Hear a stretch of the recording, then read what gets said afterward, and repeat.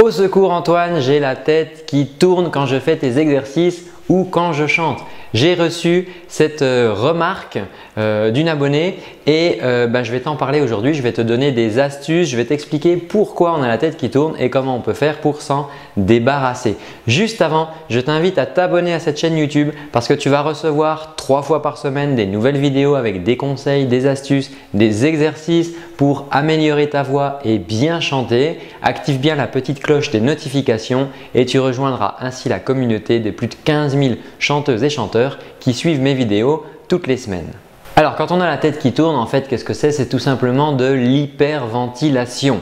L'hyperventilation se définit par une augmentation soit du rythme respiratoire, donc du nombre, du nombre de cycles de respiration, d'inspiration et d'expiration dans une minute. Donc on va respirer en fait euh, beaucoup plus souvent, de manière beaucoup plus rapide. Et c'est également une augmentation de l'amplitude de respiration. On, fait des respirations plus amples, on a du coup plus d'air qui euh, circule et du coup beaucoup plus d'oxygène qui arrive.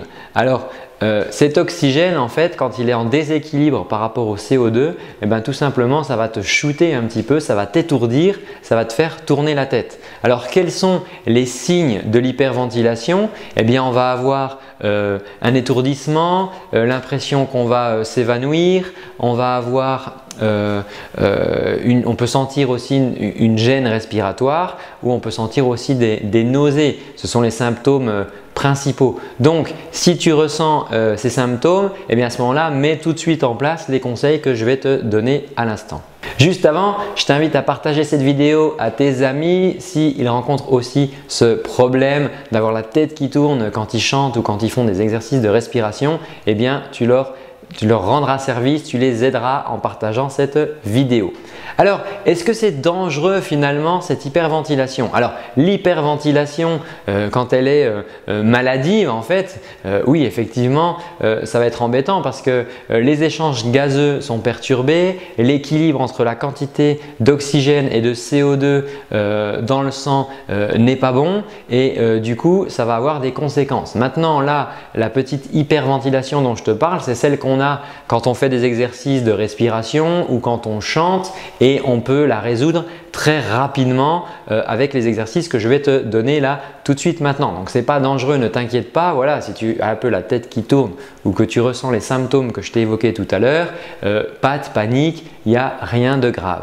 Alors on a dit tout à l'heure que l'hyperventilation se traduisait par une respiration euh, rapide. On augmente le cycle d'inspiration et le cycle d'expiration et donc on a bien sûr beaucoup plus d'air qui arrive, beaucoup plus d'oxygène qui arrive et du coup trop d'oxygène. Donc ça, ça peut arriver euh, en cas de stress par exemple. Euh, si tu as peur, tout d'un coup tu vas te mettre à, respirer euh, beaucoup plus vite. C'est une réaction tout à fait normale et on peut la contrer en se concentrant simplement sur notre respiration et en essayant de la ralentir.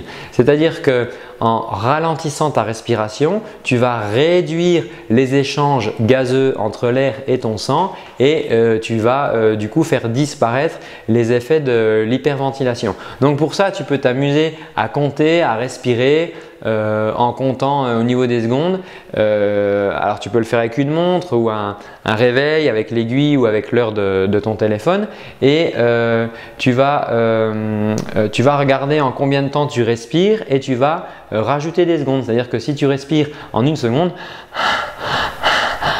toi là je fais une, une une par seconde, je vais essayer de faire une, inspiration par seconde et une expiration par seconde. Et ensuite, je vais essayer à passer à 2. Puis à 3. Voilà, jusqu'à ce que ça devienne plus confortable. Donc ça, c'est une première technique, simplement ralentir ton rythme de respiration pour te calmer et euh, désaturer finalement euh, le trop plein d'oxygène qu'il y a dans ton sang. L'autre cause qui amène de l'hyperventilation, c'est de respirer de manière trop ample. Et c'est tout à fait ce qui arrive quand on débloque la respiration, quand on travaille la respiration pour chanter. On a bien souvent euh, des personnes qui ont euh, le ventre très noué, euh, qui ont beaucoup de tension dans le corps et qui ne respirent plus en fait. Et bon, il y a énormément d'ouvrages écrits là-dessus. mais voilà, les gens en règle générale ne respirent plus et quand on débloque ça à travers des, des exercices de respiration de chant, on se met tout d'un coup à avoir une respiration beaucoup plus ample et du coup beaucoup plus d'oxygène qui arrive au poumon. Et le, corps n'a pas l'habitude de ça, il n'a plus l'habitude de ça. Et, euh, et là, c'est la panique, on a trop d'oxygène et on a cet état un petit peu d'étourdissement. Donc, euh, si ça t'arrive, eh bien, ce qu'on va faire, c'est qu'on va bloquer notre respiration. C'est-à-dire qu'on va tout simplement arrêter euh, de faire arriver de l'oxygène dans notre sang et on va juste bloquer notre respiration comme ceci. On va se mettre en apnée, on va vraiment bloquer notre respiration. Et si tu veux accélérer le phénomène, tu peux le faire en marchant. Tu peux marcher dans la pièce. En marchant, en fait, tu vas consommer le trop plein d'oxygène qui est dans ton sang. Euh, il va être utilisé, brûlé euh, par tes muscles. Et du coup, tu vas revenir à un taux euh, qui sera beaucoup plus équilibré avec le CO2. Et du coup, l'étourdissement va partir rapidement. C'est pareil, le fait de remarcher. quand tes talons frappent le sol, on a des pompes à 100 euh, sous les talons. Et en fait quand ton pied euh, tape contre le sol, et eh bien en fait il y a une sorte de, petite pompe qui va renvoyer le sang vers le dessus. Et en faisant circuler le sang, on va aussi euh, désaturer euh, l'oxygène plus rapidement.